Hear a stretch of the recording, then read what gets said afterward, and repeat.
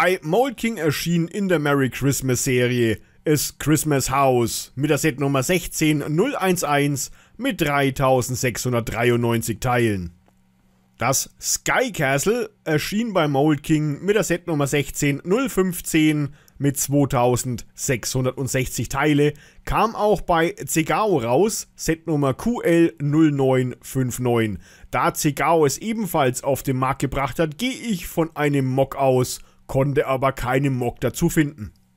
Botanical Garden Mock Nummer 26998 erschien bei Mold King mit der Setnummer 16019 mit 2147 Teilen. Market Street bei Mold King erschien unter der Setnummer 16020 mit 3016 Teilen. Handelt es sich hierbei um eine massiv abgewandelte Version der Lego Market Street. Deswegen habe ich jetzt hier keine Lego-Nummern angegeben, weil es doch ziemlich krass weit weg ist vom Original. Ob es sich hierbei allerdings um einen Mock handelt, konnte ich jetzt auf die Schnelle nicht ausfindig machen. Channel Amsterdam, Mold King Set Nummer 16021 mit 3770 Teilen, erschien auch bei Rael unter der Setnummer K88, da es hier ebenfalls von einem anderen Hersteller auf den Markt gebracht wurde, gehe ich auch hier von einem Mock aus. Afternoon Tea Restaurant bei Mold King erschien mit der Setnummer 16026 mit 3039 Teile. Hier konnte ich keinen Mock ausfindig machen. Barbershop in Town. Mold King Set Nummer 16031 mit 2267 Teile. Auch hier konnte ich keinen Mock ausfindig machen. Wieder ein Kaffee. Set Nummer 16036 mit 2728 Teile. Der Mock mit der Nummer 45635, auch erschienen bei SY, Set Nummer 5208 oder Johann K. 86005. Pub and Restaurant Islet, Mock Nummer 53084. Ist von Mold King angekündigt worden, Set Nummer 16042 mit 3992 Teile. Ebenfalls wurde dieses Set angekündigt von Yuhan K. Set Nummer 86008. Der Crane Liebherr ist der Mock 10123. Mold King Set Nummer 17002 mit 3524 Teilen. Der 4 in 1 Traktor mit der Setnummer 17019 mit 2596 Teilen. Ein weiterer 4 in 1 Traktor mit der Setnummer 17020 mit 2716 Teilen. Dazu gibt es den Anhänger Setnummer 17021 mit 3098 Teile. Das Desert Racing Set Mock Nummer 1812 bei Mold King erschien unter Set Nummer 18001 mit 314 Teilen. Der RC Buggy Mock Nummer 19517 erschien bei Mold King unter der Set Nummer 18002 mit 1912 Teilen. Monster Truck Mock Nummer 26278 bei Mold King erschien unter der Set Nummer 18003 mit 1670 Teilen, auch erschien bei Happy Build unter der Setnummer XQ 1212D.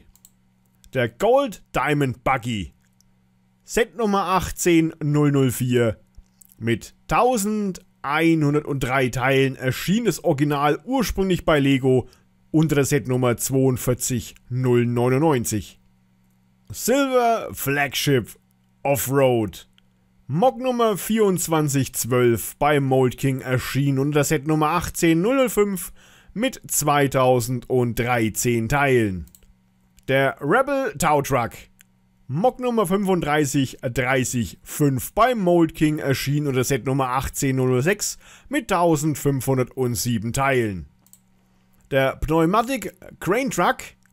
Mock Nummer 8800 Setnummer von Mold King 19002 mit 8238 Teilen.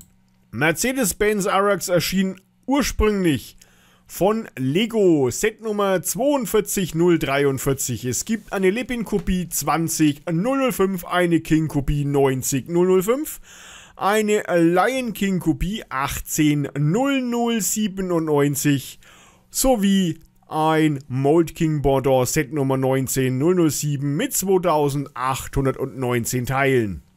Anti-Tank Missile bei Mold King erschien unter der Set Nummer 20001 mit 1600 Teilen.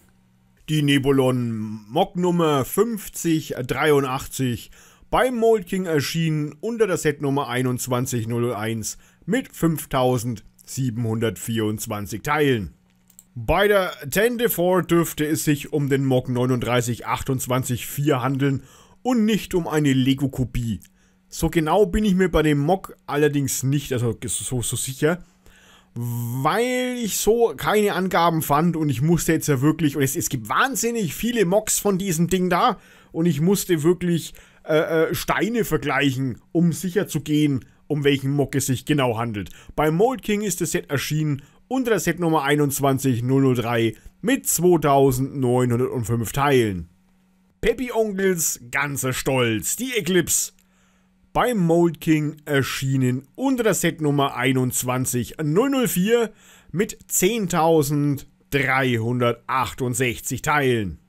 Veneta Glass Republic Attack Cruiser, auch hier war es wahnsinnig schwer für mich, den Mock ausfindig zu machen. Ich hoffe, die 0694 ist richtig. Beim Mold King erschien das Set unter der Setnummer 21005 mit 6685 Teilen. Es gibt ebenfalls eine Lepin-Version davon mit der Nummer 05077, eine King-Version 81067 sowie eine Lion King-Version 18 0020.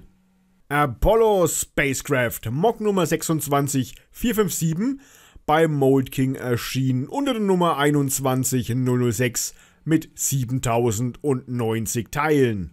The Empire of Jeddah City Mock Nummer 18996 bei Mold King erschienen unter der Setnummer 21007 mit 5162 Teilen. Es gibt eine GCL-Version 90007. Lugre Hulk Star Control Ship. Ein Mock. Definitiv ein Mock, aber welcher? Ich konnte es nicht ausfindig machen unter diesen zahllosen Mocks, die alle gleich aussehen. Beim Mold King ist dieses Set erschienen unter der Setnummer 21008 mit 3663 Teilen. Der Sandcrawler Wistful Interior, Mock Nummer 12992 beim Mold King erschienen, unter der Set Nummer 21009 mit 13.168 Teilen. Das Kolosseum Mock Nummer 49020 beim Mold King erschien unter der Set Nummer 2202 mit 6544 Teilen.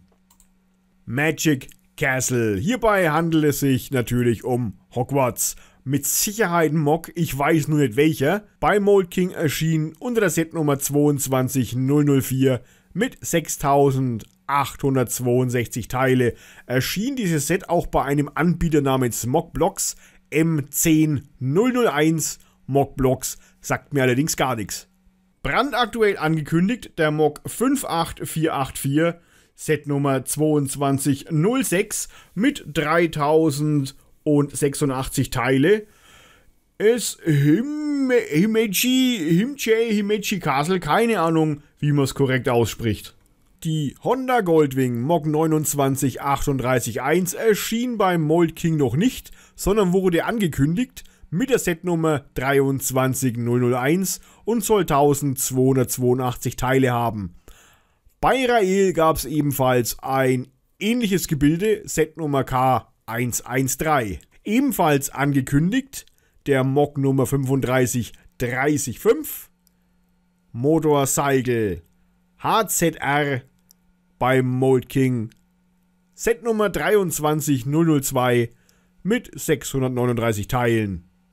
Racing Motorcycle, angekündigt von Mold King mit der Setnummer 2305 mit 383 Teile, handelt es sich hierbei um den Mock 17249.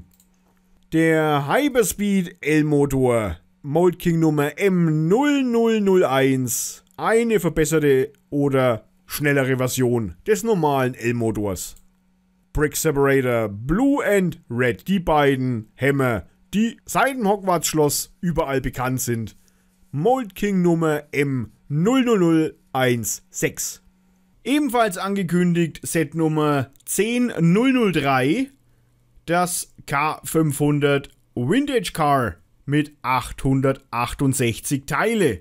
Im Übrigen designt und auch autorisiert von Firas Abu Jabba. Ebenfalls angekündigt Set Nummer 10005, der Mock mit der Nummer 22930 mit 825 Teile. Ebenfalls erschienen bei Xingbao unter der Setnummer XB03010. Ebenfalls autorisiert und designt bei Firas Abu Jabba Silver Cloud Setnummer 10006 mit 1096 Teile. Pop-Up Heart and Ringbox Mock Nummer 22083 Mold King Set Nummer 10008 mit 758 Teilen. Die Zuschauer haben aufgepasst und mich darauf aufmerksam gemacht, dass es zu jedem Zugset auch einen Anhänger gibt. Die darf ich natürlich nicht außer Acht lassen. Wir fangen hier an mit der Setnummer 1201 CX mit 1009 Teile. Der Enyo 2 Diesel-Lokomotiv-Anhänger. Ebenfalls ein Anhänger, Setnummer 12002 CX mit 838 Teile. High Speed Rail Dining Car Anhänger. Ein weiterer Anhänger, Set Nummer 12003 CX mit 608 Teile. Gondola. Angekündigt Set Nummer 12009 mit 1809 Teile. Rainway Signal Tower, ein stibitzter Mock. Und ja, hierbei handelt es sich definitiv um einen geklauten Mock, weil ich vor kurzem die Ehre hatte, mit Nero Sephiros zu kommunizieren, der mich darauf aufmerksam gemacht hat, dass Mold King eben seinen Mock geklaut hat. Das Sturmgewehr QBZ 95, Set Nummer 14005 mit 787 Teile. Angekündigt ein weiteres Modular The Coffee mit 3430 Teile, Set Nummer 16004. Ein weiteres Café, gefühlt gibt es in der Zwischenzeit Milliarden von Kaffeehäusern innerhalb der Modular-Serie. Es Kaffeehaus Set Nummer 16008 mit 3103 Teile. Die Hongkong Straßenbahn. Set Nummer KB120. Ein lizenzierter Mock mit 2528 Teile. Wer weiß, warum Mold King hier bei diesem Set ein KB vor die Setnummer gesetzt hat, möge mir das doch bitte in die Kommentare schreiben. Angekündigt der Mock von Zero Brick mit ungefähr 3100 Teile. So genau steht's noch nicht fest. Der G63 6x6 so brandneu, dass es von Mold King noch nicht mal eine Setnummer gibt. Der Racing Truck mit der Setnummer 13151 wird auf der offiziellen Facebook-Seite von Mold King angekündigt. Er sieht aber auf den ersten Blick komplett identisch aus mit dem Racing Truck mit der Setnummer 13152. So genau weiß ich es nicht. In meinen Augen handelt es sich hierbei einfach nur um einen Zahlendreher und das Set Nummer 13151 gibt es gar nicht. So, das war jetzt erstmal das letzte Video dieser Reihe. Drei Videos insgesamt, 180 Sets, die bei Mold King erschienen sind oder noch erscheinen werden. Was in Zukunft noch auf uns zukommt, was Mold King so noch auf den Markt schmeißt, ob Mold King so wie andere Hersteller in Zukunft den Namen ändert und so weiter und so fort, das liegt noch alles in den Sternen. Wer bis zum jetzigen Zeitpunkt, also wer alle drei Videos gesehen hat und sagen kann, hey Dosten, da und da fehlt noch dieses und jenes Set oder hier oder da ist ein Fehler drin, bitte in die Kommentare. Im Teil 4, der irgendwann in Zukunft erscheinen wird, vorausgesetzt Mold King bringt genug Sets auf den Markt Um ein Video zu füllen, werden dann die Fehler behoben und ausgemerzt. Weiter geht diese Reihe hier mit den Sets der Firma Happy Build. Happy Build ist ebenfalls so ein kleines Problemkind. Ich dachte auch bei Happy Build, ja, das wird schon so viel haben die nicht, aber die haben auch einiges auf den Markt geschmissen. Und zu allem Überfluss haben sie auch noch verschiedene Namen auf den jeweiligen Kontinenten. Da durchzublicken ist nicht ganz einfach, aber ich arbeite dran. Ich bedanke mich fürs Zusehen. Daumen nach oben tut nicht weh, abonnieren nicht vergessen. Und ich sag Servus, bis zum nächsten Mal. Eierdosten und baut was Schönes.